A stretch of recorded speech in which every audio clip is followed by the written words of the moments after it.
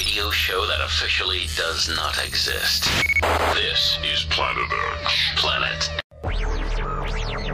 This is not a drill. I repeat, this is not a drill. Do not be afraid. We are now in control of what you hear. One, two, three, testing. A journey to the far reaches of knowledge and the unknown. I can't believe I just saw that. From aliens to angels, conspiracies to cover ups. One soul and Preeminent power. From extraterrestrials to exposing the truth. I'll try and explain as much as I can. You're listening to Planet X. You're listening to Planet X. Planet X. Good evening, good afternoon, and good morning, wherever you are listening to Planet X today. I'm Neil Atkinson, and welcome to another show. Uh, we've got, as always, our Planet experts in the studio, and it's a warm welcome back for Darren Perks is back. Yay, Good let's hear it evening. for Darren. He's been be a back. very busy boy, but you're back with us. Yeah, it's great. It's good to be back in the studio and uh, cracking on with Planet X. It, it- when I'm not here, I'm in the background stalking. Love it. Uh, we're also joined by uh, Anthony Beckett, Mr. Exopolitics himself, is uh, with us. Uh, welcome, Anthony. Well, thanks for having me, Neil. Yes. and uh, we're going to be talking briefly about uh, the next exopolitics, which I think is the fifth. It is the fifth year. Yeah, we've been going five years. I can't really believe it, really. I, I can't believe it. A that you've been going for five years and you haven't got any grey hairs I'm getting there. for, for, from doing exopolitics because I know how stressful these things are. Uh, we'll talk more in just a little while, but we've got to mention our special guest tonight, uh, we, who uh, is going to be uh, joining us live on uh, the phone from the states. It's the one and only John Lear. Now, John. Um, I could go on and on and on about him. He is a retired airline captain, uh, a former CIA pilot. Uh, he's also the son of the famous inventor of the Lear jet. Uh, he was best friends with the infamous Bob Lazar. And he's got some pretty, let's say, out there theories on all kinds of things to do with the moon, uh, to do with our solar system, uh, to do with ETs. Uh, tell us a bit more about uh, John himself because you've spent time with him out at his ranch in America. yeah, I did. I was lucky enough to meet John in May last year. Um, and the, the guy has a wealth of knowledge about UFOs that is it, not only intriguing to listen to, but it, it's just so in depth. I mean, uh, he first uh, pretty much got into UFOs back in the in the early eighties, uh, and he developed this special relationship with Bob Lazar, obviously connected to Area Fifty One, and um, John has. Over the years, gathered so much information that he wants to share. Now, he does have some pretty extreme views on the moon and Jupiter and other things in space, and that's what we're going to hear tonight from him. But um, I think what what I want people to do is um, try and relate to what John tells you tonight, because there is going to be some absolutely amazing facts that come out from him. So Okay, stay right there for John Lear on the show very soon. Let's go back to Anthony. Now, we've mentioned there at the start of the show, it's uh, the fifth year of Exopolitics. Um, we're going to be doing an Exopolitics special next week. And uh, tell us who we've got lined up for next week's show. Uh, we've got Andrew Johnson, who's like a regular speaker at the conference. Yeah, he's- and a regular guest on, yeah, on Planet X. We've had him on a few times. And is, he's well known for his work in, uh, well, is a 9/11 truth activist and uh, do looking at the uh, evidence for directed use of directed energy weapons in 9/11. But for us, he's also been researching uh, basically anomalies in space and the solar system. And he's going to be giving a talk about the secrets of the solar system. Okay. And uh, we've also got a, a former professor of, uh, uh, of astronomy from Cardiff University. Now, I'm glad you're going to say his name because uh, I've got it written phonetically in front of me. and yeah, it's uh, Professor Chandra Chandra Wick, well, Professor Chandra Wickramasinghe, bit of a uh, difficult one to say. He was basically the- currently the director of uh, the Centre for Astrobiology in Cardiff. And uh, one of the things he's been he was been doing from his, in his since well, since about the 1960s, he was working with uh, the late uh, Fred Hoyle, right. who was actually a guy from my hometown in Bingley, in uh, near Keighley. And uh, they're basically in over, I guess it's now 40, 50 years. They've they put together evidence from astro- from basic cosmology showing that there is evidence for bacterial life in space, and that might be uh, what basically seeds life on the planets and other solar systems. So they are going to be joining us on next week's show. Tell us uh, who else you've got lined up for uh, the the fifth year of Exopolitics. Yeah, so we've got two, well, t- uh, three other people actually. I'm speaking myself with Andrew Johnson. I'm going to be discussing life on Mars and the, the scientific evidence for that. And uh, we've also got um, a regular um, Well, I think a regular guest of yourself, haven't we? Well, yeah, apparently I'm going to be coming down and, and trying to host it. yeah, Neil will be ho- Neil will be hosting the event. We've also got Marcus Allen going to be talking about the moon landings and the um, lunar ano- anomalies, and. Uh, Dolan. Ah, yeah, we've got Richard Dolan come over Mr. from the States. Dolan. I knew there was somebody else. Yeah.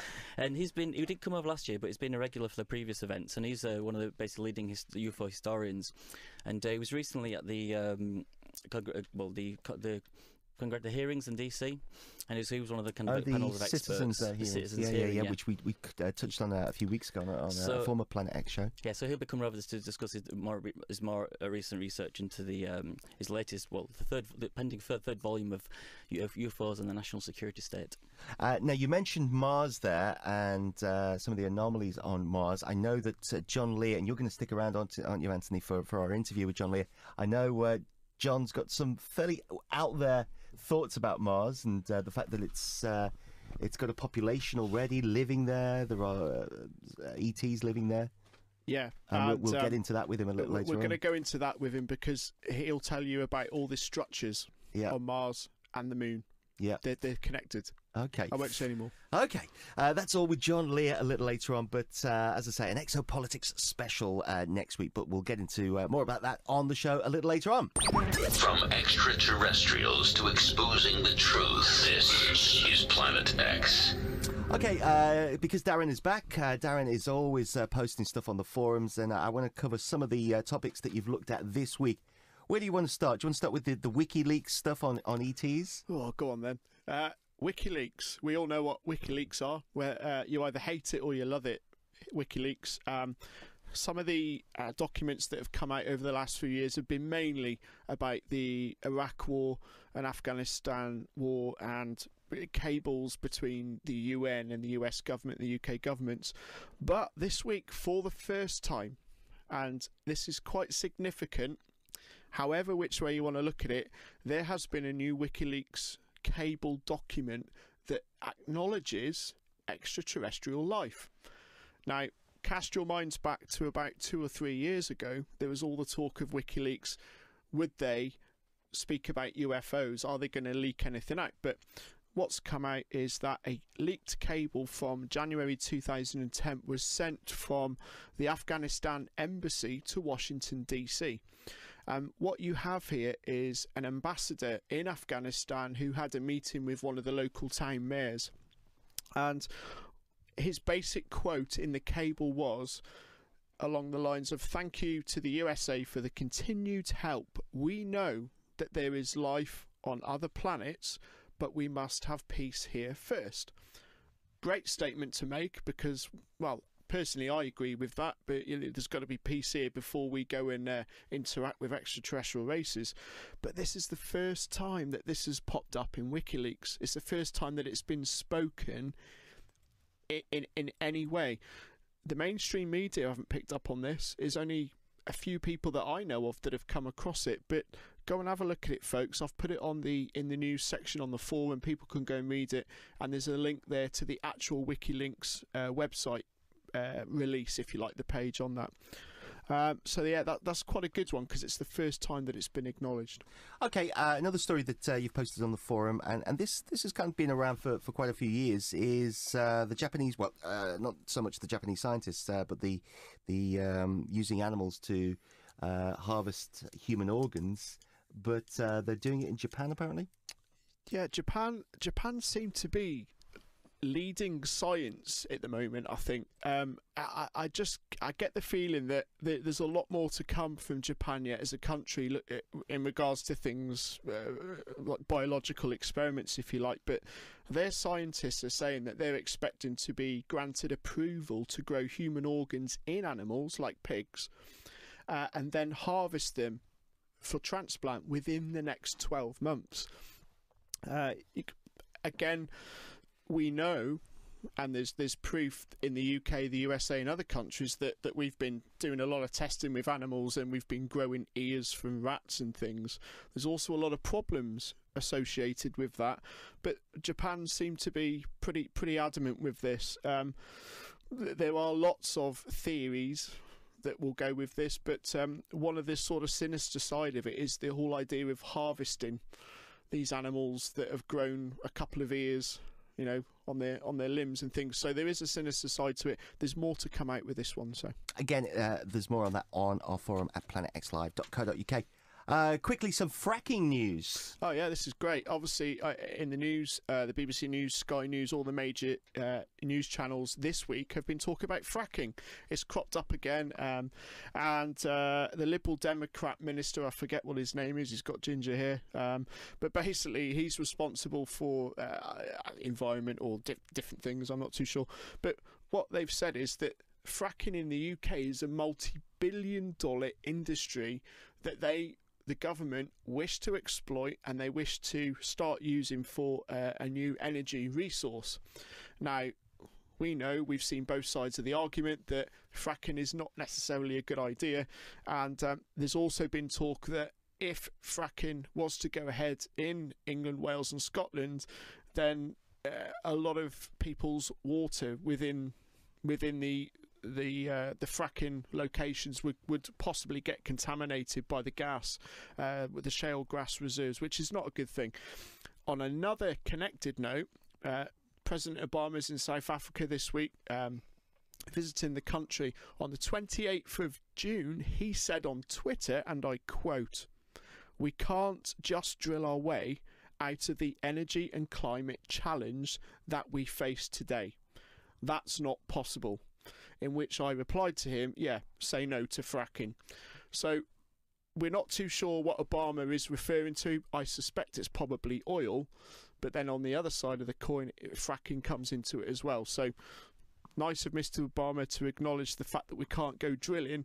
Unfortunately for him, drilling for oil also means drilling for gas, which we don't want in this country. So. And of course, if uh, if they brought in the free energy, it'd all be fine. We wouldn't need it. So Anti gravity, yeah, free energy. It's the future. Um, let's quickly talk about the NASA documents as well. There's uh, been a lot of stuff on this uh, all over the, the internet, of various Facebook uh, pages, and yeah, uh, it's kind of gone viral over the last few weeks. yeah. We're, basically, uh, Mr. Bushnell, who's a NASA scientist at the NASA Johnson Space Lab in um, in, in the US, And I'm going to bring Ants on, in on this and see yeah, what yeah, your thoughts are to, to, well. to hear to hear your view on it. But with with what what you've got is a 114 slide PowerPoint presentation that this guy wrote for NASA, and he talks about future war concepts in, in the year 2025. And and one of the slides that I picked up on was. Uh, bots, Borgs, drones, and humans. And he talks about the possibilities that the enemy may have. Now, this is something that's been given quite a bit of attention in the last few days. Um, so I decided to do a little bit more digging into the NASA Science Department and their older news releases. And what's coming out is that NASA, it looks like that they've been trying to develop a new propulsion system using microwave and laser beam technology. A Japanese scientist, again, uh, a Professor Leik Myrabo, back in 1987, started testing with a five meter diameter flying saucer craft, and he was successful and managed to get it to fly.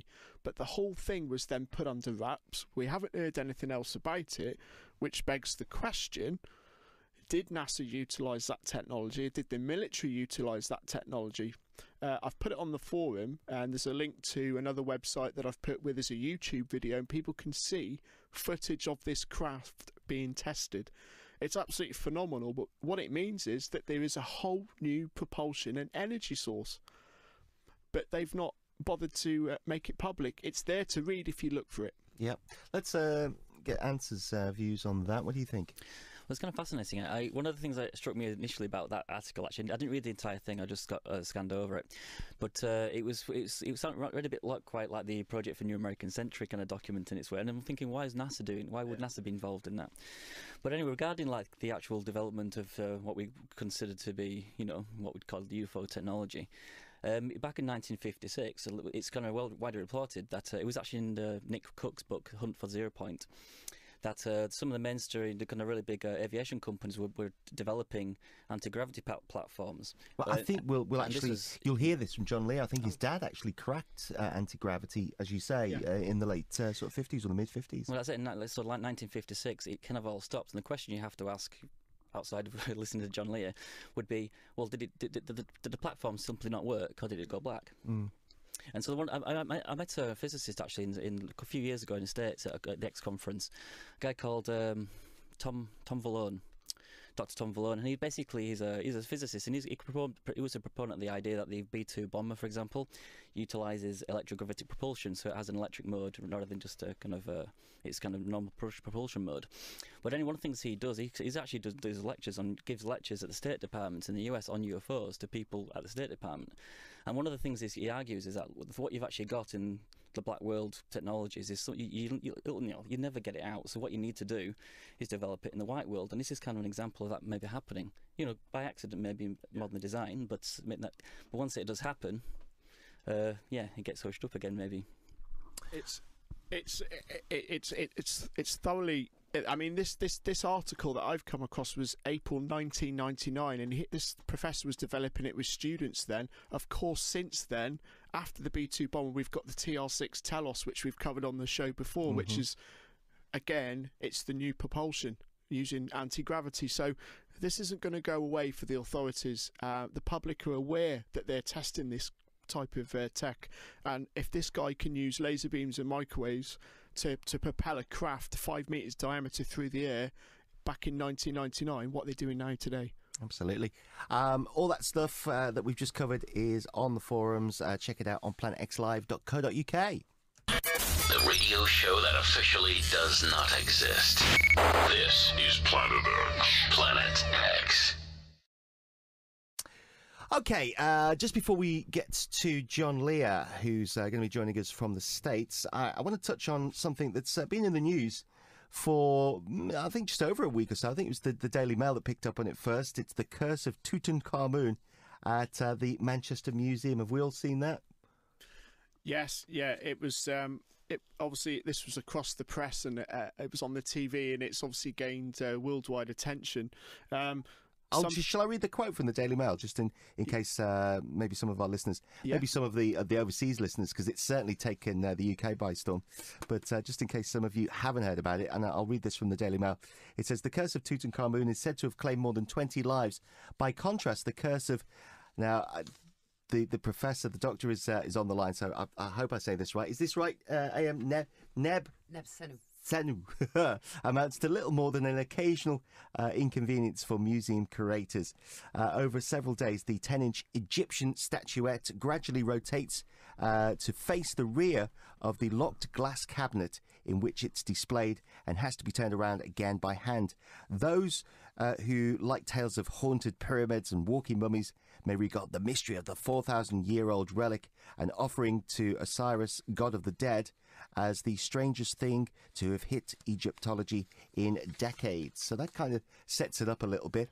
And uh, I'm very pleased to say that we've got uh, the uh, curator of Egyptology and the Sudan on the line uh, from Manchester Museum. Uh, very warm welcome to Dr. Campbell Price. Welcome to Planet Hello. X. Thank you very much. Thanks. Now, I just quoted there from, from the Daily Mail. Did I get most of that right? Yes, just about as, as, as right as the Daily Mail can be, I suppose.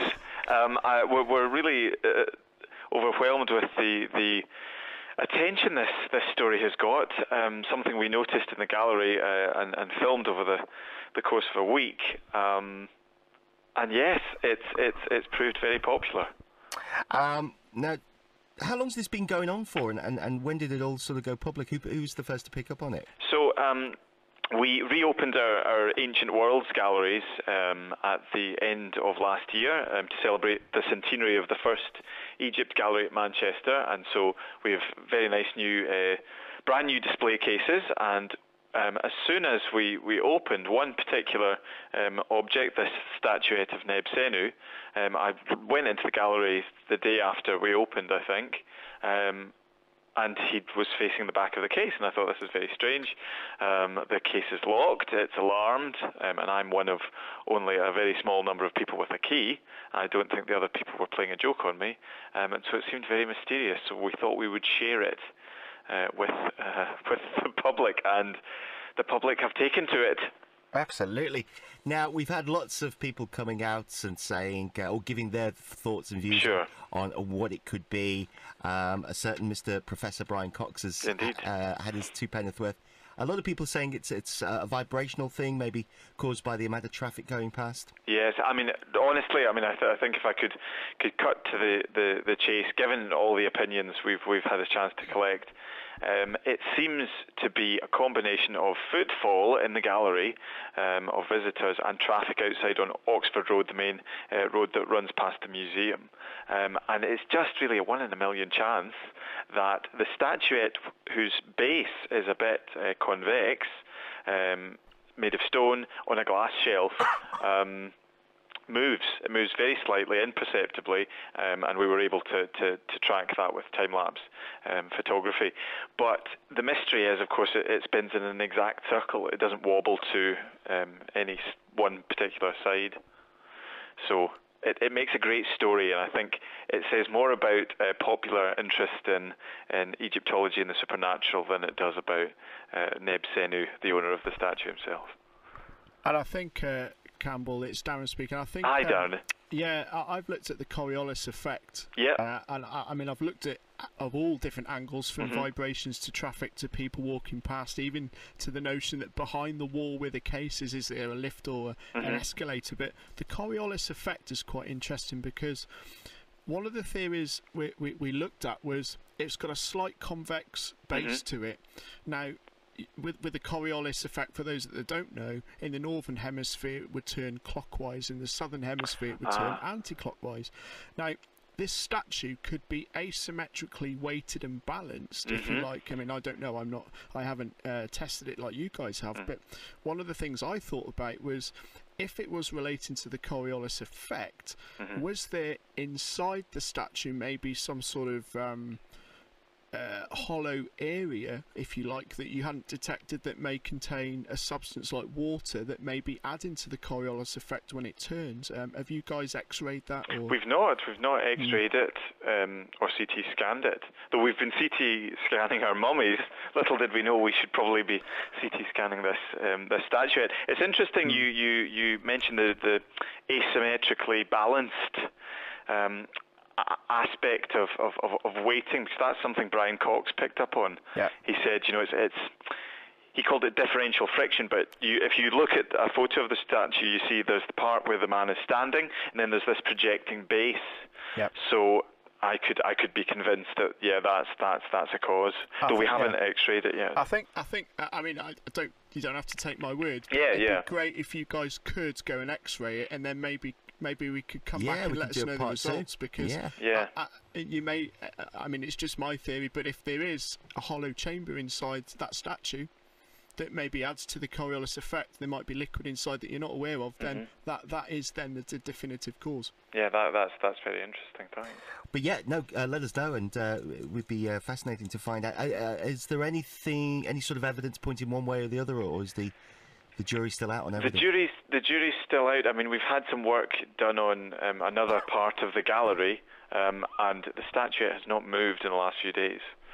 Um, so maybe that has just been the, the slight change that has stopped the very fine uh, balance of the, the vibration. I'm not not not absolutely sure, um, but I'm certain that it's been a very popular. that that clip on YouTube has been uh, incredibly popular. It just it, it plays to a popular interest um, in the unexplained, which is, is no bad thing for our um, uh, footfall. Yeah, I was going to say, has, uh, has, has the interest in the Manchester Museum gone up over the last couple I would say, anecdotally, over the last week, yes, definitely.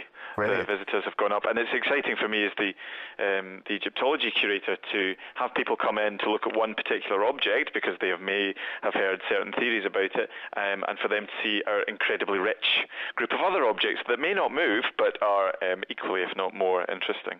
Uh, I've just got to mention as well um, that you actually qualified. We, we uh, the show comes from Liverpool. You actually ah, qualified yes, in yes. Liverpool at Liverpool University. I did. I studied Egyptology at Liverpool University, which is the best place to study Egyptology in Western Europe. Wow, really? Yes, biggest department in in in in, uh, in Britain. Uh, I've just got to also mention that um, because of, of, all the, the sort of fame that you've you've gained over the last week, you, I don't know fame or infamy. I don't know. Well, you, yeah, you actually uh, ended up in the Sun newspaper, and apparently your mum and dad were horrified. Uh, yeah, yeah. I phoned them up. I said, um, if you buy the Sun, I'm on page 23. and you know, in Liverpool, that's that's yeah. Well, yeah, it is. It's A bit of an issue. The, the, yeah, the Daily Scum. in Yeah. Liverpool. So yeah, just Eek. don't do anything again for them. No, exactly, exactly. I think I'm on the straight and narrow now. All right. Well, listen. Uh, great talking to you, Pleasure. and uh, it'd be great to get you back on again at uh, some point. Yeah, yeah. If uh, if there's uh, any sort of answers to to the mystery. Right, great. Uh, for now, though, Dr. Campbell uh, Price from the uh, Manchester Museum. Thank you for joining us. Cheers. Thank you very much. X marks the spot. This is Planet X. It is indeed Planet X. I'm Neil Atkinson, and tonight uh, we're joined in the studio with our planet experts, Darren Perks. Uh, Anthony Beckett is also here, the organizer of Exopolitics. Um, just off the, the back of that call, there, we were talking to Dr. Price, uh, Dr. Campbell Price uh, from the uh, Manchester Museum. You've got a few points that you wanted to add, Anthony. Yeah, the idea of this uh, statue that kind of revolves by itself, seemingly in this kind of cab- closed cabinet. That's pe- people have been uh, kind of uh, you know uh, kind of trying to dis- discover what's kind of causing it. One of the issue, it highlights an uh, highlights an issue which kind of broadens into what we're going to talk about later with John Lear, I guess, in that it's people assume it's just some- supernatural phenomenon or possibly just a physical natural phenomenon, for example, something like Coriolis, the rotation of the Earth or whatever. However, it kind of it begs the question: Well, how, if it was, if something is intelligent cause, how would you know? And there's, the problem is there's, there's something within the within uh, science called the rule of methodolo- the rule of methodological naturalism, and that states that the statements of science should infer only natural things and processes. So it's almost as if the scientific method, as it is, isn't really in a position to state to be able to measure to detect. Uh, or dis- or make statements really about uh, art- in- intelligently caused things. So much so that it's been argued that something is, is kind of obvious as Stonehenge, and science can, can all it can do is trying to look for natural processes and that caused Stonehenge to happen. You can't not- cannot make can't make statements to say, look, some guy it was intelligently caused. Uh, interesting, and uh, we will put some of those points uh, to John. He is on the line right now from the States. Uh, really looking forward to this interview. Um, Darren, you've spent time with him as well. Just uh, tell us a bit more, or tell our listeners a bit more about uh, John Lear. Yeah, John Lear was a uh, ex test pilot. He flew lots and lots of uh, different aircraft in the United States. He holds some. Uh, some airspeed records as well. I think it's about 18 in total. His father basically invented the Learjet. He's best friends with Bob Lazar, who is still alive and still kicking, and uh, he knows just about everything he needs to know on Area 51, UFOs, the moon, Mars, you name it. Yeah, he's got some pretty uh, out there thoughts and views, uh, and he's on the line right now. Welcome to Planet X, the one and only John Lear. Hi, John. Hey, how are you doing? How are things over there? Pretty good. Um, it's uh, a lot later than it is over where you are. You're live in in uh, Nevada, uh, so it's pretty early for you. Lots of things to talk to you about. Um, let's start at the beginning because uh, we've got the you know all kinds. We've got the Bob Lazar stuff. We've got your theories on the moon, uh, the solar system, ETs. But let's start with, with your history, your background, and for any of our listeners who, who don't know who John Lear is, uh, just tell us a bit about you and and and, uh, and your background. Well, I um, grew up uh, in Santa Monica, California, and um, and also went to school over in uh, Switzerland.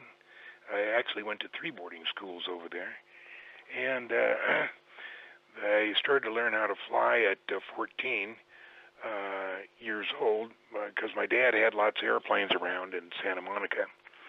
And they had a Tri-Pacer and a 172 and Lockheed Lodestar and stuff like that. And he didn't want me to be a pilot, but uh, I insisted, and uh, I got my commercial rating at 18 and started flight instructing. And um, I got a job, uh, you know, little flight instructing jobs until I fell into this one that uh, was flying uh, Air Force FAC airplanes, forward air control airplanes, over to uh, Vietnam from Wichita, Kansas, and that was pretty nice. It was a a good time builder because it was actually about 66 hours over there, and uh, from that I went to uh, uh, let's see, chief pilot of Lacey Aviation, flying Lear jets, and from that I went to uh, flying 707s uh, up in Seattle for uh, Aero America. That's not Air America. That's Aero America.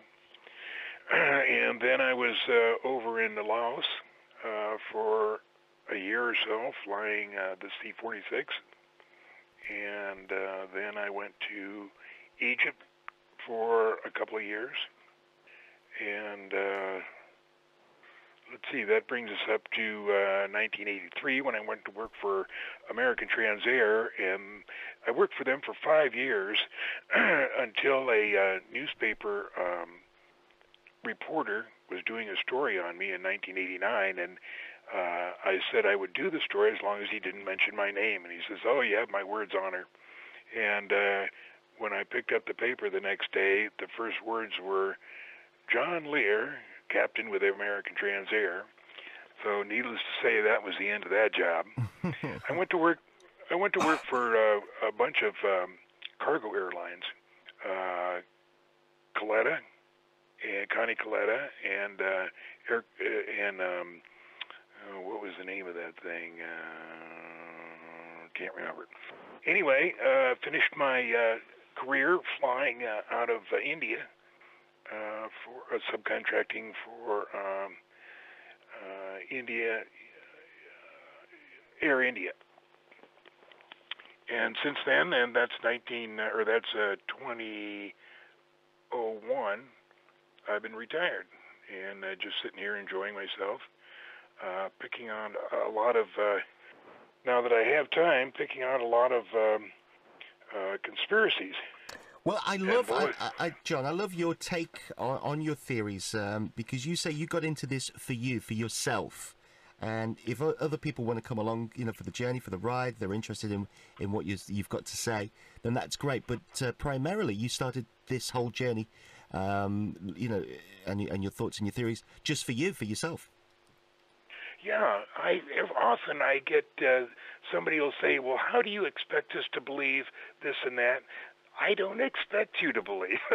this is for myself, and I can't possibly bring everybody up to uh, what I believe because it just takes too long. Now, I I admit that at one time there was a uh, a time when I could bring people up to uh, speed, but uh, there's just too much out there to bring people up to speed. So, you know, if you want to hear what I believe in the short, I'm happy to tell you, but uh, there's no way I could convince you. Mm.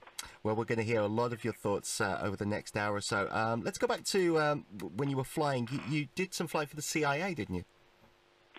Yes, that was uh, two times, uh, well, three, four, several times. Uh, let's see, the first time was in 1967, flying uh, the O2, which was the forward air control airplane from Cessna to uh, Nha Trang, South Vietnam, and that was a CIA contract. I did that for four years.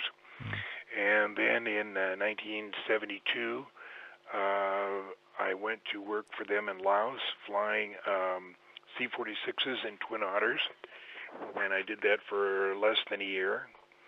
And then in 1977, uh, I did a small contract, which was uh, to Mogadishu, um, flying uh, arms and ammunition when we decided to uh, uh, help the Somali uh, get on their feet. And this was way before all the stuff that's happening now, but uh, I was in on the very beginning of that. We've uh, had a, a former guest on who used to work for the, the drug baron, Pablo Escobar. And uh, he, uh, good evening, Frank, if you're listening. Um, but he, whilst he was working there for Pablo Escobar in Colombia, he said that uh, two of the biggest customers in the, the, the drugs game were the Vatican Okay. and the CIA. Did you see Hey, you anything? again? We had uh, a former guest on, and he worked for Pablo Escobar for, for a time in Colombia. And Yeah, two of the yeah. two of the biggest customers were the CIA and the Vatican. Did you see anything in towards when you were working for them? Any strange cargoes that you had to fly? No, because all my stuff was in country. Uh, by that I mean um, all my stuff was uh, from point A to point B, but nothing out of country. Um, we flew um, just arms and ammunition, uh, you know, it, it, within Laos. So that wouldn't give us any chance to uh, uh, to, to ferry any uh, drugs or stuff. But I did keep track of it. For you know, one of the major, the best books on uh, on uh, drug trafficking was uh, drugs uh, and uh, heroin CIA by um, uh, what was his name? Um, McElroy. I forget uh, drugs and heroin Yeah, it in was. Southeast it, Asia. it was McElroy, John. Yeah, that is that. That pretty much gives the whole lowdown on the uh, the inside stuff on that. Yeah, he had um, he had the maps and everything where we flew. I mean, they were really accurate. Uh, but there was nothing in my airplane. He had uh, stuff going out of country, but but none of the stuff in country. Let's uh, let's crack on and, and move it on to Area 51. Um, now, this is a, part of the world that uh, you, you know quite well. What came first? I mean, did you did you discover, uh, you know, about Area 51 and, and Groom Lake before you started uh, a friendship with Bob Lazar? Oh yeah, way before. Uh, in 1977, I was. Um, uh, well, actually, before that, we knew there was a secret strip up in that area, but we didn't know where. Uh, so I thought it was up at the Tonopah test, Tonopah test range, but as it turns out, it wasn't. Uh, and we kept looking for it, and then finally, um, uh, let's see, what happened? Oh, a friend of mine. Uh, I was out soaring at uh, Pahrump, Nevada, and we were just talking about secret areas, and this guy said, "Oh yeah, I used to work up at the test site, but no Area 51 stuff." And so then that clicked with me. No Area 51 stuff. what? What could Area 51 be?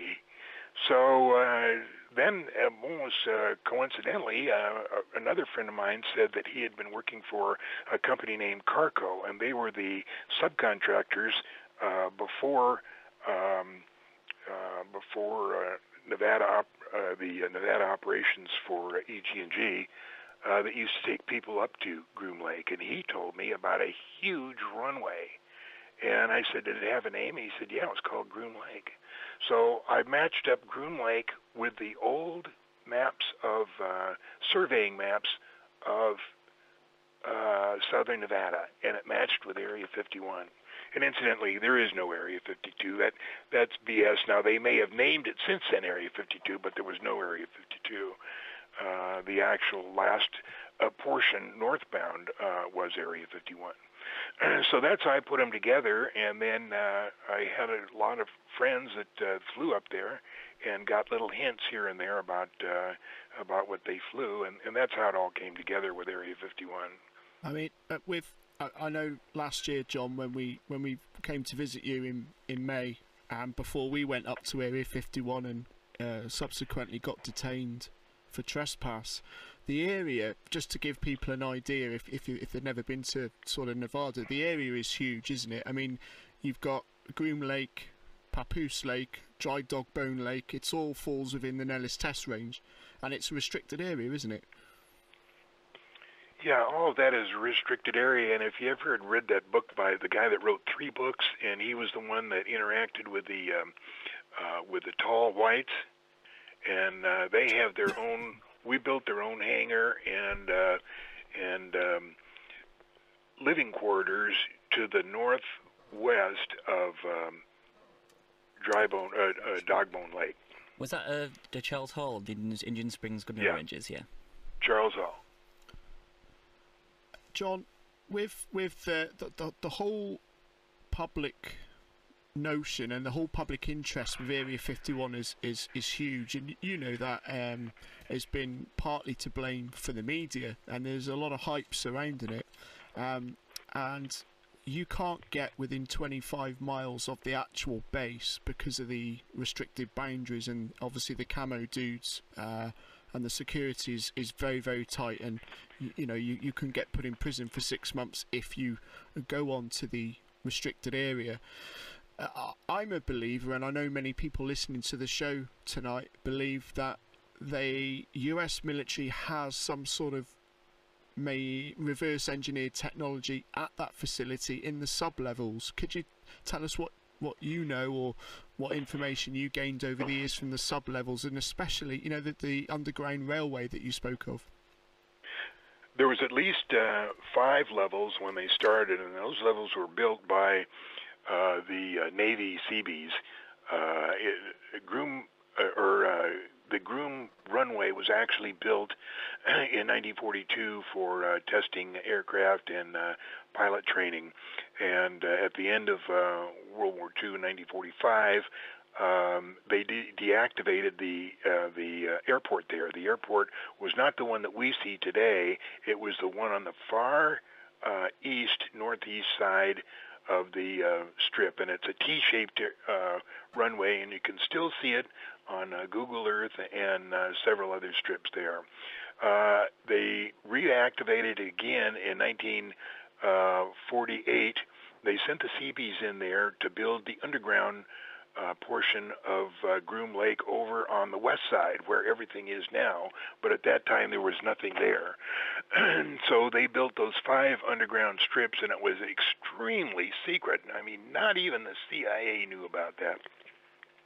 And uh, so they uh, had an operation there with th- three levels where they had the saucers, and uh, then in 19 uh, that ended in, or you know, that started in 1949 and uh, and then in 1954-55 is when Kelly Johnson sent uh, Tony LeVier and Fish Salmon up there to uh, uh, find a, a strip uh, for the uh, U2, and that's when coincidentally and completely accidentally they found the strip that was directly over uh, where the um, where they had the uh, five stories, uh, five levels of uh, underground uh, underground areas for the saucers and other stuff they had to hide.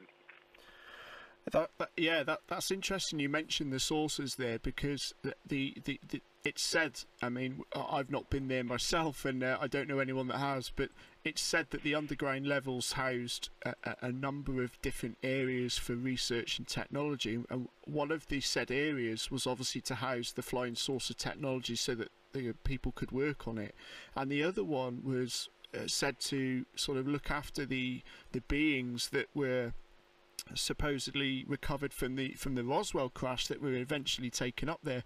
Uh, what I'm referring to there is obviously J Rod. Now, tell us a little bit about Bob Lazar and, and your connection with him. Okay, first of all, you mentioned J Rod. J Rod is a complete fake. Uh, it's uh, they were made by um, the uh, the uh, black intelligence people or the uh, uh, the uh, what do you call them the uh, underground people. Uh, it's a fake. They're trying to make him as if he was a gray, but he's not. He's taller. And uh, but anyway, going on to Bob Lazar. In 1988, I gave a, um, a lecture here in uh, uh, Vegas and uh, on UFOs, and a guy called me and asked uh, if I could give him my tapes and stuff. And uh, I said, "Well, I've gotten out of it, but uh, if I ever get back into it, I'll let you know." And he said, "Okay, well, look, I'm an appraiser, and I'll trade you an appraisal for your house." Uh, if you uh, will give me all your tapes and papers, I said, "Well, look, I need an appraisal right now, so uh, let's do it." So he came over the next day, and he brought a guy to hold the measuring tape, uh, other end of the measuring tape, and that guy was Bob Lazar, and he brought me his he brought me his um, um, resume, which included um, a uh, uh, which included graduation papers from MIT and Caltech, Cal, uh, California Institute of Technology. and uh, we started talking about uh, saucers, and uh, this guy Bob Lazar kept looking up at the sky and rolling his eyes and everything, and and we finally said, "What's the matter, Bob? Don't you believe?" He said, "No, it's not possible." He said, "I worked at Los Alamos National Labs, and uh, uh, if there was such a thing as that, I would have known." He said, "I had the highest clearance, which is Q clearance." And uh, it, it just could not be. So anyway, it took uh, four months for me and uh, Gene Huff, who we nicknamed Goofon, uh, to convince Bob that there might be something there. And the things that were convincing, convincing him is we knew about the um, uh, double X. Let's see, what was the name of that thing? Double X, double Q, something. A name of a post office box, and uh, also about Project Grudge and um, something else we knew about. Oh, Excalibur. and with those three things that uh, we couldn't have possibly known without some i- inside inside information, uh, Bob decided to get a job up at uh, Groom Lake. And the way he did it was he called uh, Doctor. Um, um, Doctor, what, what's the guy's name who invented the it Teller? I'm a little lazy. Doc, called Dr. Teller, and uh, I was actually there when he called him, and uh, he, Dr. Teller said, "What can I do for you, Bob?" He says, "I'd like to re-enter the scientific community. Uh, I'd like to come to uh, to work." And he said, "Great. Well, uh, Dr. Teller said, "Great. Would you like to work here in California?" Uh, with me at uh, Livermore, or do you want to work uh, in Nevada? And Bob said, I want to work at Groom Lake. So Dr. Teller said, let me get back with you. I'll have somebody call you. So a week or so later, um, Bob was called and told to report at the EG&G uh, headquarters down at uh, McCarran, and he was given an interview. And um actually, the first, uh, he was given three interviews. The second interview, the first question was, uh, do you know John Lear, and what is your relationship with him? and uh, or what do you think about him? and so Bob said, yes, I know John Lear, and I think he sticks his nose in places where it doesn't belong. What Bob told me was that he also likes to stick his nose into places where it doesn't belong, but he didn't tell them that. So anyway, then uh, we up to December 6th. He uh, he shows up at my house, which he always comes over in the evening and sits down and we talk about stuff. He said, "I saw a disc today," and I said, "What?" He said, I saw a disc today. And I said, theirs or ours? He said, theirs. I said, well, what are you doing here? Did you go to Groom Lake? Well, you, you know, obviously, they followed you. If they let you up there, they're going to let you talk with me. He said, uh, well, they may have, but you have taken so much baloney for the past six months that I've known you that I wanted to tell you it's true. I touched it. I saw it. It's real. It's uh, interstellar. I mean, it couldn't possibly be from Earth, and I wanted to tell you it's real. So that was the beginning with Bob Lazar. We, John, we were talking about this on the show uh, last week. Uh, that there's a lot of whistleblowers coming out now, and Bob Lazar, if you like, was one of the, if not the original whistleblower, wasn't he? Yeah, I can't remember anybody else unless you call um, uh, uh,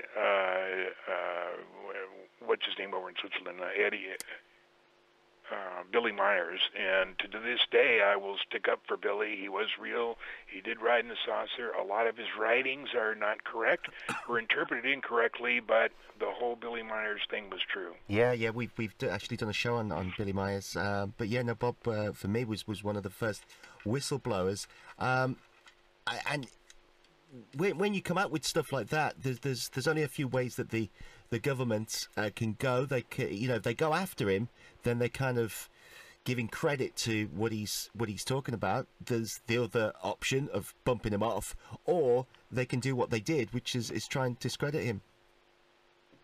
Yeah, well, what they did is what is uh, where they try to discredit him. Right. Uh, John, what, what, do you think about the idea that uh, because obviously uh, they knew that he was a, he knew you, he knew himself before he went for his interviews and stuff, that maybe he was uh, fed some disinformation while he was there. What are your thoughts on that? Whether his disinformation? Well, no, whether he was fed disin because he the the um, when he they, they knew his relationship with you, so they maybe it's speculated that basically they might have uh, fed him some disinformation while he was actually on the base. What, uh, what are you thoughts on that? You said uh, you're saying that uh, it's a possibility that they sent Bob Lazar as uh, disinformation. Well, no, knowing that, knowing that uh, obviously his relationship with you then is interesting in probably the subjects that you're interested in. That once he actually got there, saw the sources, that he some of the because he read some of the documentation, for example, like Red might have been pre-written for uh, people to just distract or get distract from the idea that some of the sources are actually terrestrially made and are not necessarily all ET. I'm not following you, but the fact is, uh, my understanding is with the uh, MJ12-1, I'm trying to think of his name. He told Ron Gardner uh, the other day that uh, he specifically picked Bob Lazar uh, and specifically uh, picked him because he knew he would come to me to release some of the information. And now that we go back and think about it, there's no possible way that if they wanted to keep it a secret, they would have let him come and talk to me. Just, no possible way. They had to know that uh, Lazar was going to come and talk to me immediately. John, tell us about some of the, the secret files that Bob has uh, has seen, um, and and the, the, the way he got uh, higher clearance to see more and more. And, what's the question? Tell us about some of the secret files that he, he was um, privy to see from Roswell. Um, Bob wouldn't tell me what all the files. He said all he would tell me is uh, a lot of the nasty stuff we were involved in. And I said, uh, well, like uh, towing asteroids. And he said, oh, yeah, all that stuff. Uh, and we had just found out about that we were towing asteroids somewhere. Uh, I don't know whether that's true or not because uh, in those days, uh, uh, you know, we had faked the Apollo missions mainly because of the um, uh, the radioactivity out in space. Uh, we would have had to find a way to uh, counteract that. Uh, but if we did, then uh, it's possible we were towing asteroids around. We may have been doing it uh, electromechanically too, uh, sending out uh, uh, a um, a vehicle and attaching itself and uh, making it go somewhere else. Um, we've touched on on anti gravity earlier on in the show, and uh, it's obviously something Bob Lazar has worked with. But you, your father actually was one of the prime contractors for the Defense Department, and you say that, that they pretty much solved it by the mid fifties, the problem of anti gravity. Yes, we have the uh, official papers of him being uh, on the uh, list of prime contractors for uh, uh, anti-gravity in 1952, and we also there's a um, videotape going around the uh, internet. There's two or three of them, and they both have uh, pictures of my father, moving pictures of him instructing at the Bonson Institute. Uh, in one of them, my mother is standing there while he's discussing uh, flying saucers, and he has drawn a uh, disc uh, vehicle on the uh, drawing board and he's explaining something. It doesn't come with sound, but uh, it certainly does have a lot of pictures and also has a calendar uh, being flipped through as if something is very important and they're designing something to reach a very important date. But I can't read the date, and uh, uh, and I'm but I'm sure that in 1956 uh, it was it was solved. Now, that's just my opinion because in 1953, my dad, I believe, was kicked out of the program, and that's because he couldn't keep his mouth shut, and he was on down in Bogota on a um, just a uh, company mission, nothing to do with flying saucers. And a, a, a reporter asked him about it, and he just shot his mouth off about uh, what he knew and where he thought they were going and where they were from and da da da da da. So I'm pretty sure at that point they knew that uh, Bill Lear couldn't be trusted and uh, kicked him out of the program. What what you mentioned there, John, is uh, the anti gravity in the sources. Um, one of the things that uh, some people look at is the connection from the Vril saucers that uh, Germany were developing under Hitler in the war. Do you do you think maybe somewhere along the timeline that um, even possibly with Roswell and Aztec that a Vril saucer was captured by the U.S. military and they took it to Groom Lake for development? It's possible but I don't think so. I think they kept it down in Antarctica because I think it was completely separate from Groom Lake. And uh, Antarctica is where Hitler went and uh, more or less ran the program until 1968 when he passed away. Uh, and he may have passed away either down there or in the United States. Uh, probably the United States is where he passed away, but he was certainly running the uh, uh, the Nazi program up until 1968. Yeah. That takes us quite nicely onto your theories about the moon. Um, it's a, again a subject that we've touched on on Planet X uh, in past shows over the last year or so. The fact that the Apollo missions never went to the moon. It's actually one of the the touchiest subjects that we've approached on the show because when we talk about it, uh, we get uh, you know complaints from various people who who don't or won't, uh, you know, have it that we, we faked the, the, the moon landings. Um, tell us some of your theories and thoughts on it. I started uh, investigating the moon about 25 years ago, and it's my firm conviction there is a civilization up there. Uh, I believe that they are identical to us, but far more sociologically advanced and technologically advanced. Uh, there's about, uh, I say a billion, but probably less, probably 500 million people up there.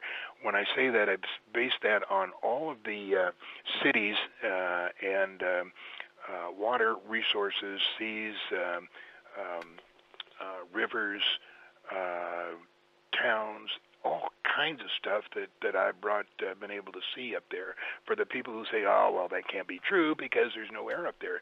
There's no air. There's they're up there because that's what NASA told you. There's plenty of air up there. As a matter of fact, uh, it's equal to 18,000 feet uh, uh, down here on Earth, and uh, there's plenty of air to breathe. Uh, and then they say, well, the gravity is uh, is uh, one sixth um, there. You couldn't uh, do this, couldn't do that. No, that's baloney too. Uh, the gravity is uh, 70% that of Earth. Uh, you can walk around fine. It can hold an atmosphere, which it does. The daytime color of the sky is um, is saffron yellow, and that makes all of NASA's pictures of a daytime sky uh, uh, dishonest, ridiculous, and uh, and not true.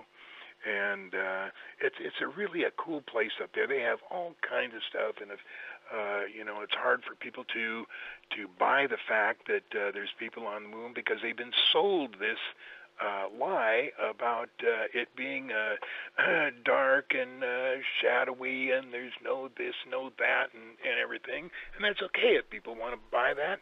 That's okay. but you aren't going to sell it to me. and uh, of course, John, um, when you touched on the atmosphere there, there is actually NASA have actually uh, uh, published white papers that they think now that the moon is developing some sort of type of atmosphere, uh, and we know that. Um, we, we never get a straight answer from them, but that's uh, apparently what it stands for, that, doesn't it? NASA, NASA, never a straight never answer. Never a straight answer. Yeah. um, so well, the other thing as well, John, what people forget is that the moon is hollow. So, what's your thoughts on the concept that there may be an internal space base on the moon? Uh, the moon is hollow like the Earth is hollow. It's not hollow like a tennis ball. It's hollow just uh, several thousand or several miles down. Uh, the Earth has uh, at least four or five civilizations that live there, beginning with the uh, reptilians. Uh, but on the moon, there is certainly um, uh, a hollow part uh, a couple of miles down, which is occupied by the Greys, and the Greys are the ones that do the um, uh, not the experimentation, but the uh, looking after of uh, of humans from Earth. And uh, what they do is they abduct them uh, and uh, take them to the moon, and they look to see that they're growing correctly, and they have the latest mods and uh, latest uh, updates, and then they bring them back, and that all occurs in a space of 40 minutes. So you can imagine how many they do uh, uh, of all time of the seven of the uh, almost eight billion people there are on Earth. Uh, as a matter of fact, if you could, uh, if you could illuminate all of the saucers going back and forth at this instant from the from the saucer from the Earth to the Moon, it would be almost totally black. There were so many saucers. But the fact is, they uh, use the uh, cloaking uh, ability that they have to uh, to cloak that out because they don't want people to know that much uh, transferring is going back and forth. John, do you think some of the astronauts who've been up in space and have actually seen some things have actually are aware of uh, the, well what the craft are, or do you think they just keep quiet? I don't know what they how they did the faking on. They faked some of the Mercury flights, they faked some of the Gemini flights, and they certainly faked most, if not all, of the Apollo flights. So what they were told, I know that uh, mind control works uh, very heavily into this because uh, the the astronauts that I've heard uh, talk, they really honestly believe they've been to the moon, but the fact is they haven't been. So they've used this tremendous. Uh, ability to control the mind that was developed so highly in Germany and then brought over here uh, when the um, the first bunch of um, Nazis came over and uh, really, really uh, advanced it. so I don't know what uh, what the astronauts privately believe.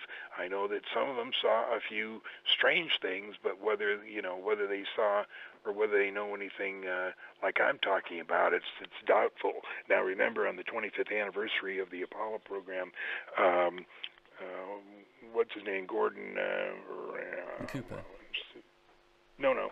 Um, the guy that's in the Senate.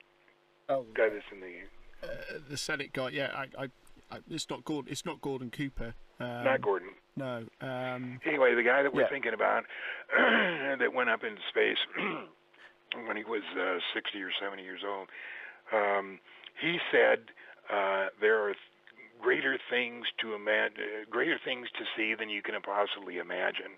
So, from what he said, it's possible that he does know something, but um, I don't know what what he meant when he said that in his little uh, 25th anniversary uh, speech. I want to get into uh, the secret space program in, just a moment, but just sticking with the moon. I mean, when we've uh, done shows on whether the moon is fake and whether there are uh, structures on the moon, we've had uh, um, amateur astronomers contacting us and saying, "Well, no, we'd be able to see it."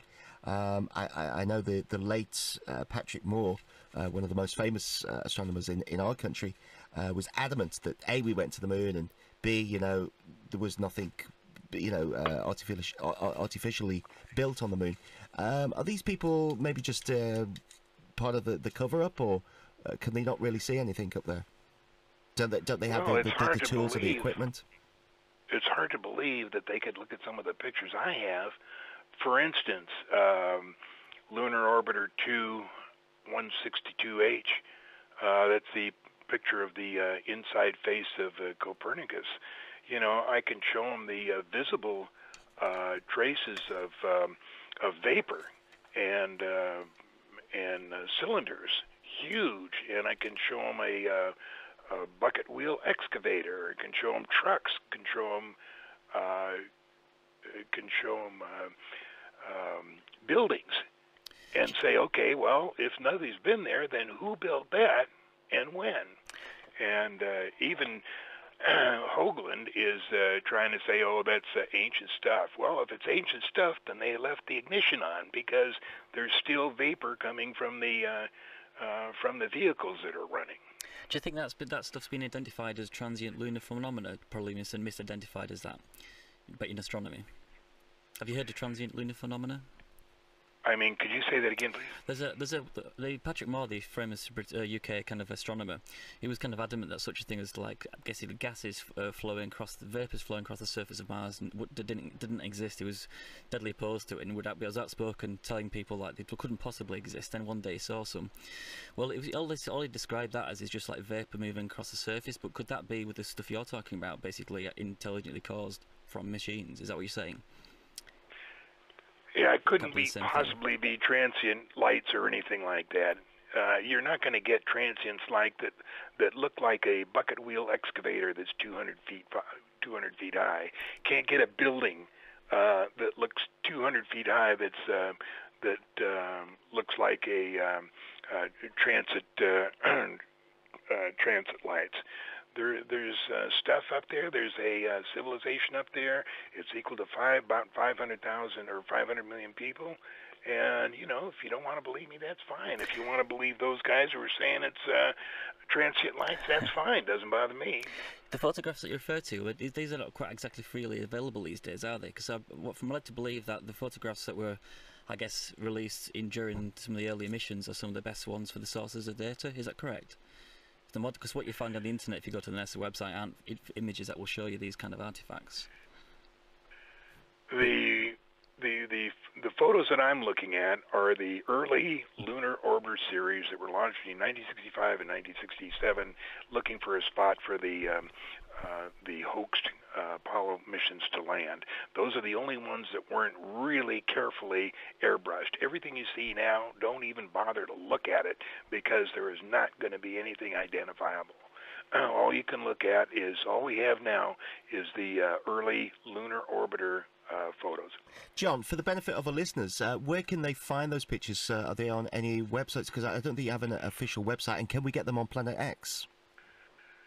Um, you can uh, get them on um, on uh, let's see, it's called um, um, thelivingmoon.com.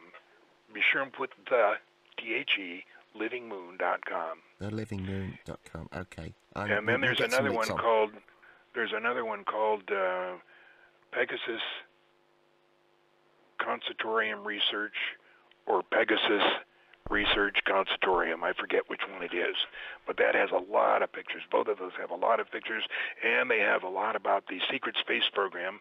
Uh, there's so much going on in that secret space program. I believe there's about 2,500 to 3,000 astronauts currently uh, going up into space, and if you ask where, uh, there's uh, at least 21 different launch sites. Uh, the major one of them is uh, Kwajalein Island. There's a major uh, launch thing there, and they do um, uh, at least two or three launches a week, and it's a very, very uh, busy program. And the reason it's uh, the reason the, the way they can keep it so secret is because Kwajalein is so far away. I'm glad you mentioned the secret space program, John. It's something that I looked into, the, the Solar Warden space program, and uh, as you may be aware, uh, I don't know if you know Gary McKinnon. Uh, he's the guy, the British guy that hacked into U.S. military computers and is said to have. Yeah, my my salute to him. He's great, and uh, Yeah.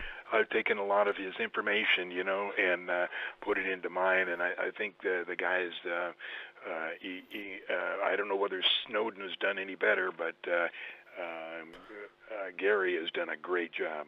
Well, Gary, Gary uh, is the only person to, to target NASA, if you like, specifically.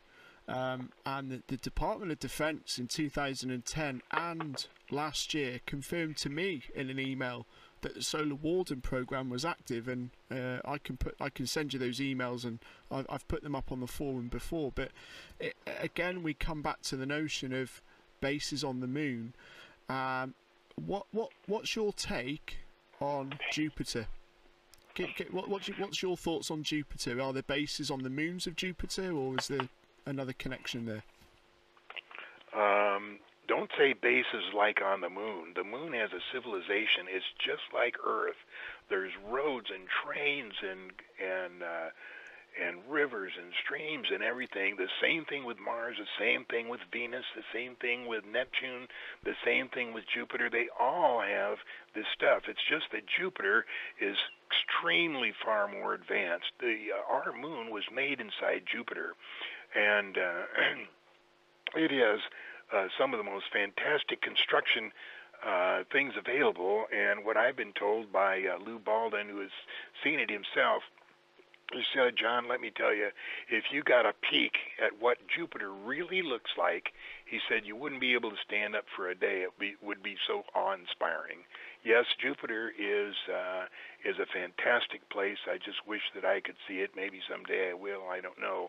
But uh, every single thing is being hid uh, by NASA about our solar and about our universe, which, uh, incidentally, our universe is infinite. It's not this baloney um, 17 billion uh, light years big. It's way larger than that. Yeah, one of the other things you say, John, is uh, our solar system doesn't just uh, consist of nine planets. It's something more like 40. Right. There's 40 planets in our solar system, and uh, uh, NASA is just starting, I think, to release uh, a few, but um, they're really having to come out with some information because uh, there's some people that really believe, like I do, that there is a civilization on the moon, and they're going to have to come up with some explanation. You know, they've started admitting there's water there.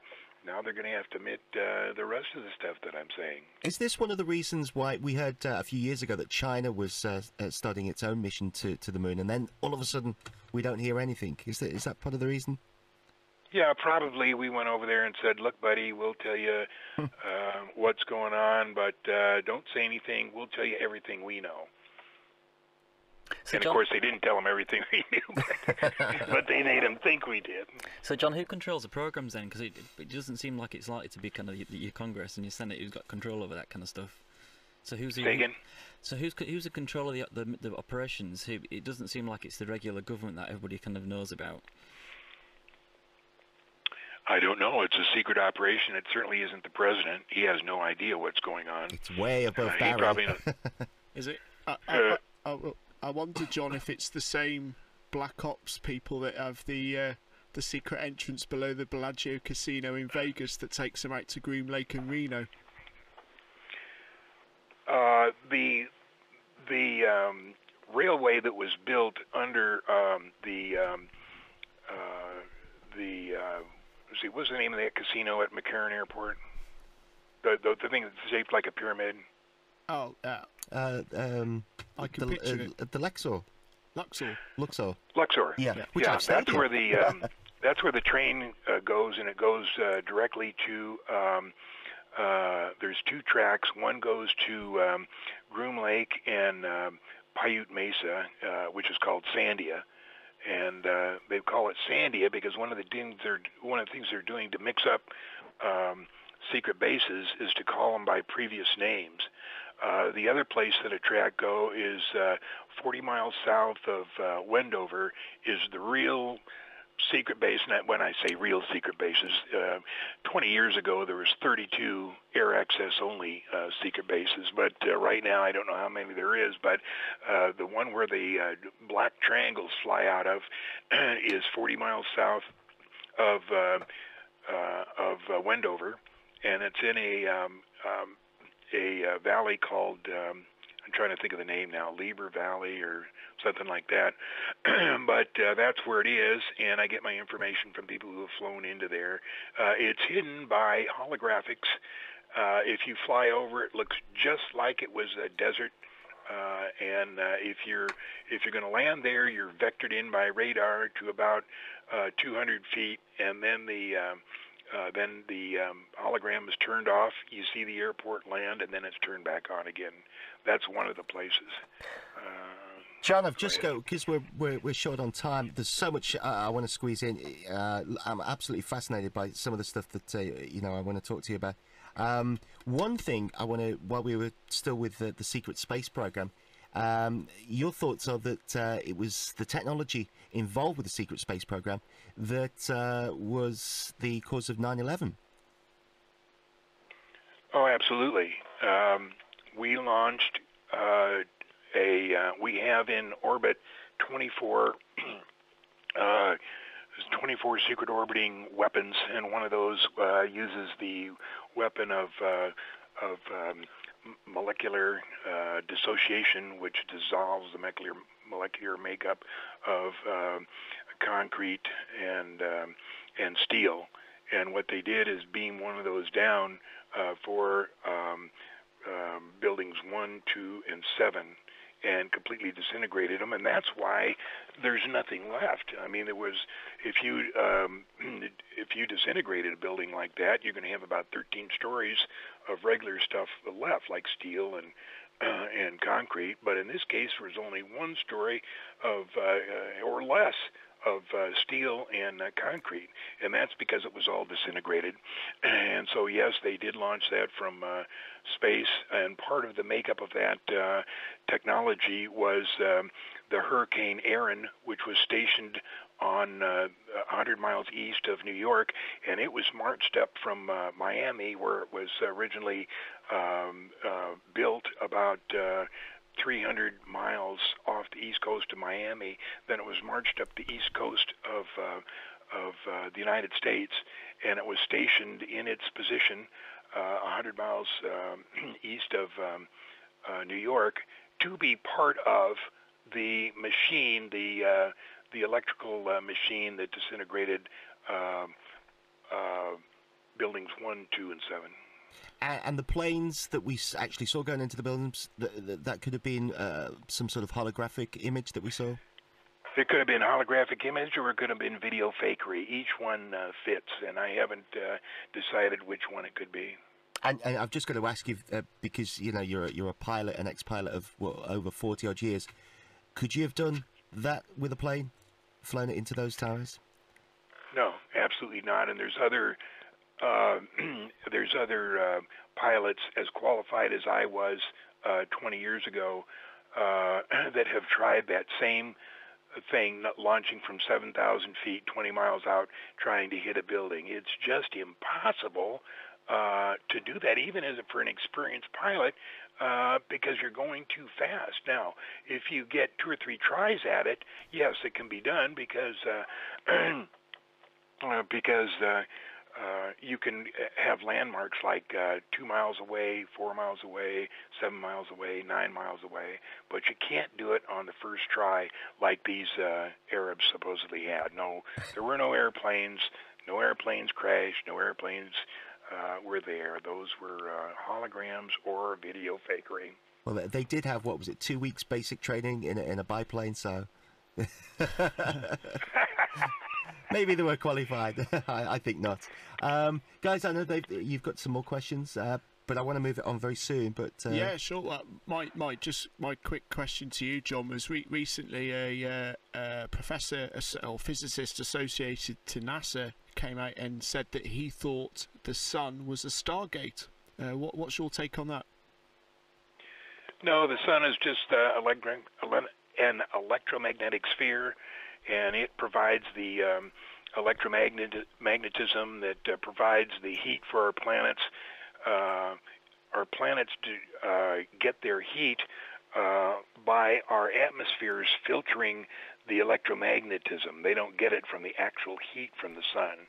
Uh, there's 40 different um, um, uh, civilizations of aliens that live inside the uh, sun, and um, w- the black holes that you hear people talk about are essentially washing machines for um, for suns. When they're dying out, uh, they send them through the um, uh, black holes, and uh, that washes them, cleans them, and sends them out the other side, uh, ready for another solar system. John, do you think there's any kind of agency on the planet, kind of like that one would, would want to disclose this information? Pardon? Do you think there's any kind of agency or any government would want to disclose this information, or do you think it's going to be permanently under wraps? All of the alien information. Well, everything you've been talking about today. Yes, uh, and uh, there will be what they call the disclosure will be in uh, about uh, four to five decades. oh, Um, really? We're gonna have to wait that long? yeah, yeah, four to five decades from now, because uh, first of all, uh, there are guys like you and me would love to hear it, but Yeah. there's also guys that wouldn't, and uh, so uh, we're going to have to wait a while for the uh, for the uh, that information to come out. I want to talk to you briefly about Mars. Um, we're going to talk about it more on the show next week, and, and we've had guests on who um, have got their theories on, on Mars, and, and there's uh, and again we touched on it on a show a little while ago. Some amazing photographs and, anomalies uh, on Mars. Um, give us your take on it, and and um, obviously that you think that there are civilizations already living there. Mars has a civilization of uh, uh, eight billion. Uh, that's where the um, uh, the Bigfoot comes from. Uh, what he what he does visiting here, I'm not sure. Uh, but yes, they've uh, they have plenty of water, plenty of atmosphere.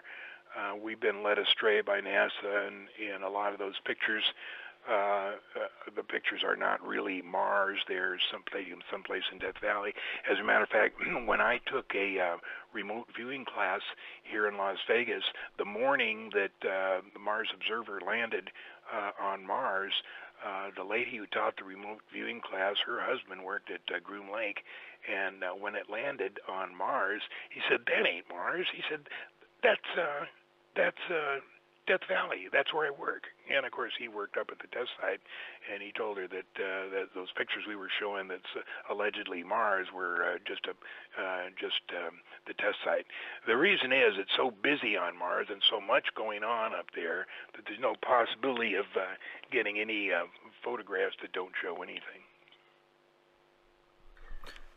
Yeah, uh, one, I was gonna, I agree with you there, John, about Mars, uh, especially the test site as well, because the, the the the terrain is very much like you see in the Mars pictures, and I can see now why they restrict public access to that area. I mean, yes, they were testing nuclear devices up on uh, on on the on the Area 51 site, but uh, surrounding those areas, especially around by Mercury, around there, uh, the, the township of Mercury, that that indicates to me, especially with the mountains, that the it's associated and is the same as the terrain on Mars.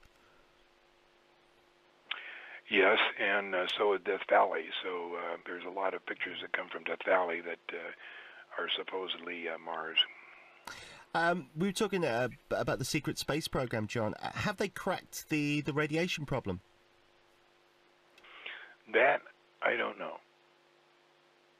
And what about um, these civilizations, these aliens? We hear that there are X amount of different types of aliens out there.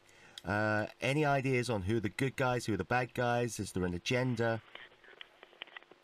All I know is that in the uh, in the universe there's there's uh, trillions times a trillion times a trillion times a trillion times a trillion uh, different types of civilizations, and there's even more than that.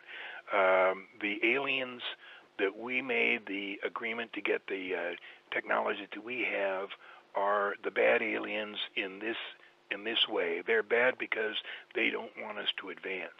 The other aliens that are sitting in the wayside and uh, waiting for things to take a, a, a change uh, are the good guys, uh, and they want to see us advance, but they're not quite as uh, as strong as the um, as the bad aliens. So we're going to have to just sit this one out.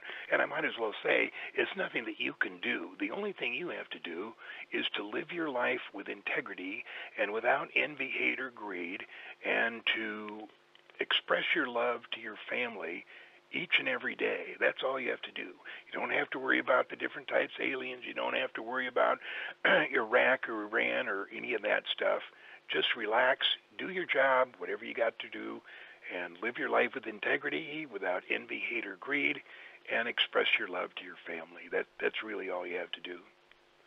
Do, do you think, John, that um, saying just touching on what you're saying there, people can connect with higher beings through uh, meditation and spirituality uh, and the use of natural energies, natural chakras. Do you do you believe that there is a way for CE5 contact through using using those techniques?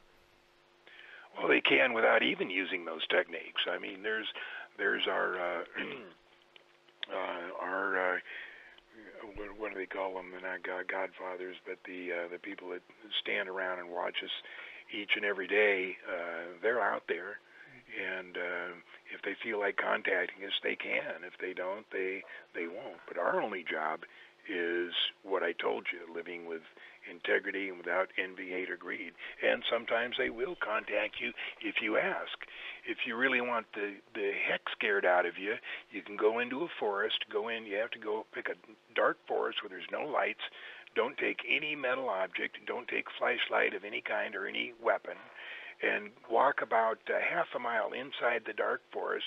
Don't take anybody with you or tell anybody where you're going and walk inside this dark forest and stand there for about 15 minutes and uh, you will see something and it'll be pretty scary. Most people don't want to do that, but uh, the fact is if you do just what I said, you will certainly meet up with an alien. Anybody up for doing that? Yeah. Darren wants to do it. right, that's your mission. That's your mission this week. Uh, I've just got a quick question, John, while you're on, uh, from our forum. It says here, uh, John has. Here we go. John has talked about the towers on the moon and remote viewers uh, who found themselves viewing the moon and being pulled in by some kind of uh, energy on the moon. Does John think that the Illuminati or the New World Order or the Shadow Government are in some way trapping souls and controlling the afterlife and reincarnation? Absolutely not. The Illuminati doesn't have anything to do with this. They're just, um, uh, they think they know more than they know. They don't have any control over this. Um, talking of the Illuminati, uh, uh, the overall uh, feeling that we uh, are getting is that everybody seems to be awakening. A lot more people are waking up all over the world. We're seeing all these gatherings of people all over the world uh, standing up against uh, the, the, the, so-called governments and, and also the shadow governments. Do you think that there will be a, a point in the not too distant future when we will get rid of this so-called Illuminati? Yeah, they'll more or less get rid of themselves uh, because uh, they don't do anything in particular. They don't have any uh, any uh, particular um, uh, hold and uh, just sit around, do what I said, and uh, just relax, and uh, things will come about. I'm only 70, or I'm 70, so I don't have long long time to wait before I, I head off into the uh, fourth dimension. But um, the other people that are younger than I have, uh, than I am, uh, they can just uh, live with integrity without envy, hate, or greed, and uh, they'll be all set. Seems like a good way to live your life. Um, just briefly before we let you go, John, and it has been absolutely fascinating talking to you, and we've only really scratched the surface, uh, as we do with a lot of our guests. Um, I hear talks of, of your daughter Jacqueline uh, working on a book about you, and also the possibility of a film.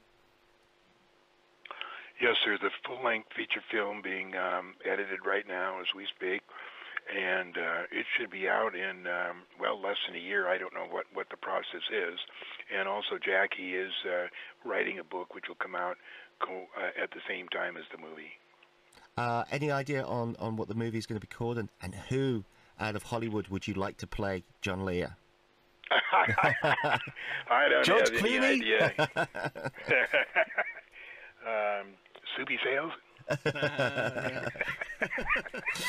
John, it's been absolutely great talking to you. Uh, is there anything that you want to uh, leave us with or leave our listeners with and, and uh, uh, how to get in touch with you and, and, and, and get more information on some of the amazing things that you've been talking about? Because you don't actually have an official uh, website, but there's uh, Godlike I Productions. think there's one there? out there. I think there's one out there called uh, I am uh, John Lear. The, wait, uh, John Lear. I forget what it is. Anyway, I want to tell the people out there that uh, uh, uh, to live your life with integrity, without envy, hate, or greed, and to express your love to your family each and every day. It's very important. check out some of John's uh, stuff. Uh, there's loads of stuff online. There's loads of stuff on YouTube as well. Uh, John, thank you so much for taking time out of your day to, to talk to us.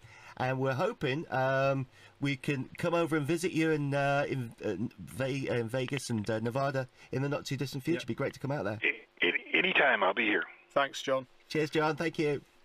Oh, thank, thanks, guys. Planet X. The truth is on air. And that is just about it for this week. What a guy! He was uh, so interesting, and, and uh, as we do with most of our guests, we only just about scratched the surface. There's so many other things that we could have talked to him about. Uh, he's got great thoughts and views on Atlantis, for instance. Yeah, jo- jo- John, it's what an absolute pleasure to listen to a guy who's got a whole lifetime, 70 years of fascinating experiences.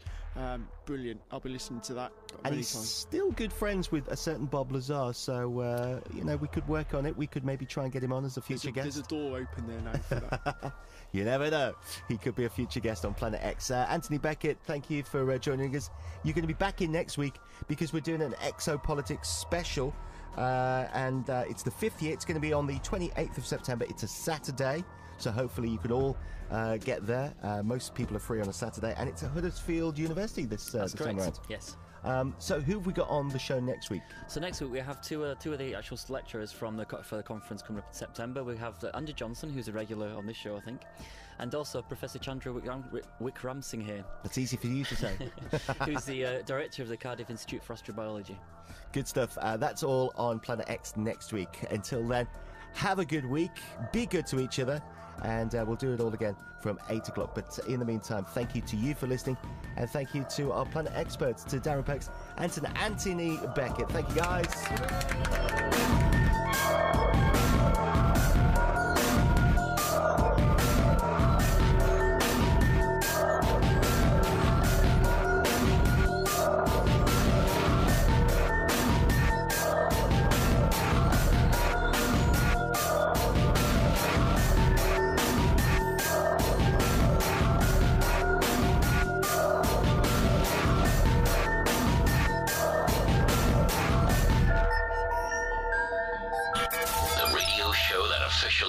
Does not exist. This. Get in touch with Planet X. Call, text, email, find us on Facebook. The radio show that officially does not exist. This is Planet X. Planet This is not a drill. I afraid. We are now in control of what you hear. One, two, three. Testing. A journey to the far reaches of knowledge and the unknown. I can't believe I just saw that. From aliens to angels, conspiracies to cover ups. One soul and Preeminent power. From extraterrestrials to exposing the truth. I'll try and explain as much as I can. You're listening to Planet X. You're listening to Planet X. Planet X. Well, good evening, good afternoon, and good morning, wherever you are listening to Planet X today. I'm Neil Atkinson, and welcome to another show. Uh, we've got, as always, our Planet experts in the studio, and it's a warm welcome back for Darren Perks is back. Yay, Good let's hear it evening. for Darren. It's He's good to been be a back. very busy boy, but you're back with us. Yeah, it's great. It's good to be back in the studio and uh, cracking on with Planet X. It, it- when I'm not here, I'm in the background stalking. Love it. Uh, we're also joined by uh, Anthony Beckett, Mr. Exopolitics himself, is uh, with us. Uh, welcome, Anthony. Well, thanks for having me, Neil. Yes. and uh, we're going to be talking briefly about uh, the next exopolitics, which I think is the fifth. It is the fifth year. Yeah, it's, we've been going five years. I can't really believe it, really. I, I can't believe it. A that you've been going for five years and you haven't got any grey hairs I'm getting there. for, for, from doing exopolitics because I know how stressful these things are. Um, we'll talk more in just a little while, but we've got to mention our special guest tonight. Uh, we, who uh, is going to be uh, joining us live on X. few We've had him on a few times. And is, he's well known for his work in, uh, well, is a 9/11 truth activist and uh, do, looking at the uh, evidence for directed use of directed energy weapons in 9/11. But for us, he's also been researching uh, basically anomalies in space and the solar system, and he's going to be giving a talk about the secrets of the solar system. Okay. And uh, we've also got a, a former professor of, uh, uh, of astronomy from Cardiff University. Now, I'm glad you're going to say his name because uh, I've got it written phonetically in front of me. and yeah, it's uh, Professor Chandra Chandra Wicks, well, Professor Chandra Wickramasinghe, bit of a uh, difficult one to say. He was basically the, currently the director of uh, the Centre for Astrobiology in Cardiff. And uh, one of the things he's been he was been doing from his, in his since well, since about the 1960s, he was working with uh, the late uh, Fred Hoyle, right. who was actually a guy from my hometown in Bingley, in uh, near Keighley. And uh, they're basically in over, I guess it's now 40, 50 years. They've they put together evidence from astro- from basic cosmology showing that there is evidence for bacterial life in space, and that might be uh, what basically seeds life on the planets and other solar systems. So they are going to be joining us on next week's show. Tell us uh, who else you got lined up for uh, the the fifth year of exopolitics. Yeah, so we've got two, well, t- uh, three other people actually. I'm speaking myself with Andrew Johnson. I'm going to be discussing life on Mars and the, the scientific evidence for that. And uh, we've also got um, a regular, um, well, I think a regular guest of yourself, haven't we? Well, yeah, apparently I'm going to be coming down and, and trying to host it. yeah, Neil will, be ho- Neil will be hosting the event. We've also got Mark Solon going to be talking about the moon landings and the um, lunar ano- anomalies. And uh, Dolan, ah, yeah, we've got Richard Dolan come over Mr. from the States. Dolan. I knew there was somebody else. Yeah. and he's been he did come over last year, but he's been a regular for the previous events, and he's uh, one of the basically leading his, UFO historians. And uh, he was recently at the um, uh, well the the. Congr- the hearings in DC, and he was, he was one of the kind of Oh, the panel of experts. citizens uh, the citizens yeah, yeah, hearing, yeah, which we we uh, touched on uh, a few weeks ago on, on a former Planet X show. Yeah, so he'll be coming over to discuss his more his more uh, recent research into the um, his latest, well, the third, the pending third, third volume of UFOs and the national security state. Uh, now you mentioned Mars there and uh, some of the anomalies on Mars. I know that uh, John Lear, and you're going to stick around, aren't aren't you, Anthony, for for our interview with John Lear? I know uh, John's got some fairly out there thoughts about Mars and uh, the fact that it's. Uh, it's got a population already living there. There are uh, ETs living there, yeah, and we'll, and, we'll get um, into that with him a little later. We're going to go into that with him because he'll tell you about all the structures Yeah. on Mars and the Moon. Yeah. They're, they're connected. Okay. I won't say any more. Okay, uh, that's all with John Lear a little later on. But uh, as I say, an exopolitics special uh, next week. But we'll get into uh, more about that on the show a little later on. From extraterrestrials to exposing the truth, this is Planet X. Okay, uh, because Darren is back. Uh, Darren is always uh, posting stuff on the forums, and I want to cover some of the uh, topics that you've looked at this week. Where do you want to start? Do you want to start with the, the WikiLeaks stuff on, on ETs? Oh, go on then. WikiLeaks. We all know what WikiLeaks are, where uh, you either hate it or you love it. WikiLeaks. Um, some of the uh, documents that have come out over the last few years have been mainly about the Iraq War and Afghanistan War and cables between the UN and the US government and the UK governments. But this week, for the first time, and this is quite significant, However, which way you want to look at it, there has been a new WikiLeaks cable document that acknowledges extraterrestrial life. Now, cast your minds back to about two or three years ago. There was all the talk of WikiLeaks. Would they speak about UFOs? Are they going to leak anything out? But what's come out is that a leaked cable from January 2010 was sent from the Afghanistan embassy to Washington, D.C. Um, what you have here is an ambassador in Afghanistan who had a meeting with one of the local town mayors. And his basic quote in the cable was along the lines of Thank you to the USA for the continued help. We know that there is life on other planets, but we must have peace here first.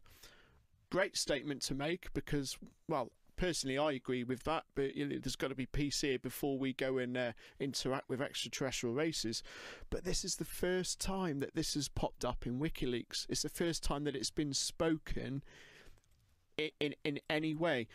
The mainstream media haven't picked up on this. Is only a few people that I know of that have come across it, but go and have a look at it, folks. I've put it on the in the news section on the forum. People can go and read it, and there's a link there to the actual WikiLeaks uh, website uh, release, if you like, the page on that.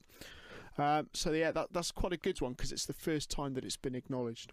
Okay, uh, another story that uh, you've posted on the forum, and, and this this has kind of been around for, for quite a few years, is uh, the Japanese. Well, uh, not so much the Japanese scientists, uh, but the the um, using animals to. Harvest human organs. And, the phone from the States. It's the one and only John Lear. Now, John, um, I could go on and on and on about him. He is a retired airline captain, a former CIA pilot. Uh, he's also the son of the famous inventor of the Lear jet. Uh, he was best friends with the infamous Bob Lazar. And he's got some pretty, let's say, out there theories on all kinds of things to do with the moon, uh, to do with our solar system, uh, to do with ETs. Uh, tell us a bit more about uh, John himself because you've spent time with him out at his ranch in America. Yeah, I did. I was lucky enough to meet John in May last year. Um, and the the guy has a wealth of knowledge about UFOs that is it not only intriguing to listen to, but it, it's just so in depth. I mean, he first uh, pretty much got into UFOs back in the in the early eighties, uh, and he developed this special relationship with Bob Lazar, obviously connected to Area Fifty One, and um, John has over the years gathered so much information that he wants to share.